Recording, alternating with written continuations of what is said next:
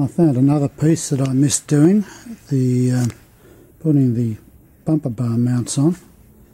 Now, I should have done that before I put the guard on, even though I haven't bolted the guard up fully. Uh, the reason for that is getting access to the bolts. There's a hole in the front here which is covered by the guard when the guard's on. Uh, the other hole here and there's a big hole at the, the back there to give you access. So just makes it twice as hard to get it in. Now whoop, I'm just trying to get the back bolt in. Just fell on the floor. So it's just going to be a little bit difficult to uh, maneuver it in. If worse comes to worse I'll have to take the guard off. But I need to get these on and I also need to get them in the right position. Because there is a little bit of movement to and fro when you uh, uh, put the bolts in so I have an old bumper bar uh, I still haven't got the, the other one back from the Chroma uh, so I'll make sure it's uh, they're in the right position so I can line the bolts up into the bumper bar. I finally got the chroming back. This is the grill. It's come up not too bad. A couple of blemishes, but um, not too worried about that. The um, the grill I actually had to uh, repair it with a number of cracks around the bottom here in particular.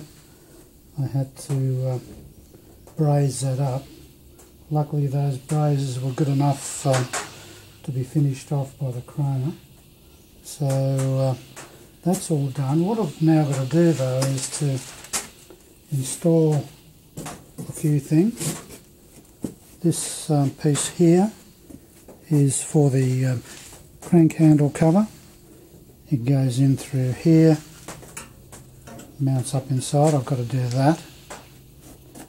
Um, that shouldn't be too difficult. I've got all the pieces.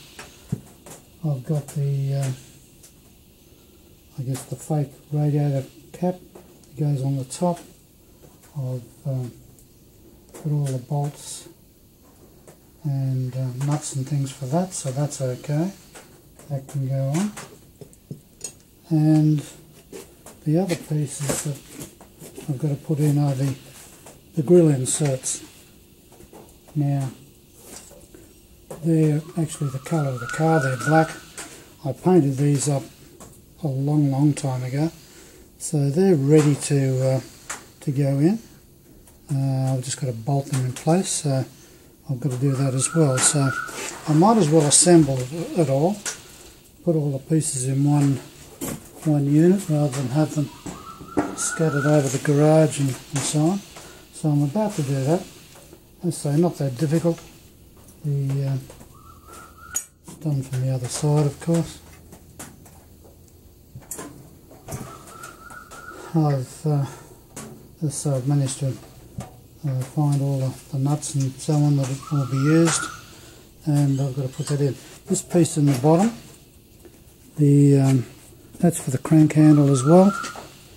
Now that just locates on this it's it's not really bolted on at this stage it's it's got to go through a number of other pieces on the uh, front of the car in particular the I think you call it probably the apron at the front so uh, it's just held in place so you can um, uh, position it uh, because uh, once you've got all these other pieces on and it's bolted up to the front of the uh, radiator you can't get in to do that so so that's just temporarily located there. So anyway, I'll start to reassemble it. It shouldn't take that long. Um, nice to keep saying that, just to encourage myself. But uh, hopefully it should be straightforward. Got the radiator components back in place. Centre of the grill is all bolted in. The um, cap over the crank handle's done. And I've put the uh, chrome uh, piece on the top there. So that's all uh, complete. The um, radiator surround at the moment is only just temporarily screwed into place. There's four screws across the top, a couple in the middle, a couple each side. So uh, it's ready to uh, bolt up. Uh, it will bolt up with the with the side plates on the side here. I'm now working on the passenger side guard just to flat the paint. Um, same long process as before. I've only just started this. I've just rubbed the outside with 2000. I've still got to do all of this. So it will take quite some time, but um, it's necessary before I put it uh, on the car for buffing.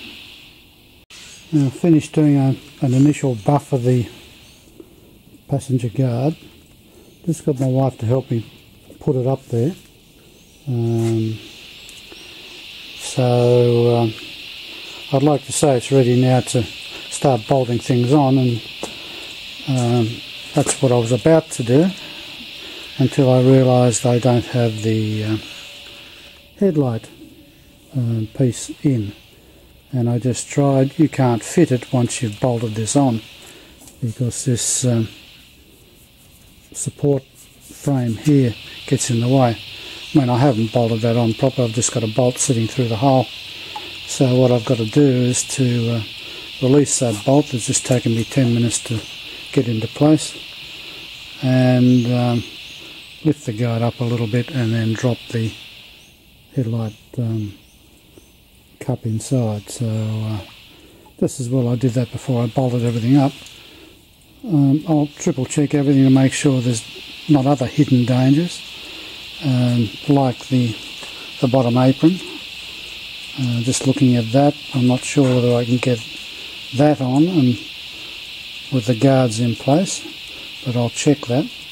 As I say, I haven't bolted these guards on fully. I've only just got the, the three bolts at the back and just one loose bolt at the front. So uh, I need to check the uh, jigsaw to make sure I've got it in the right order.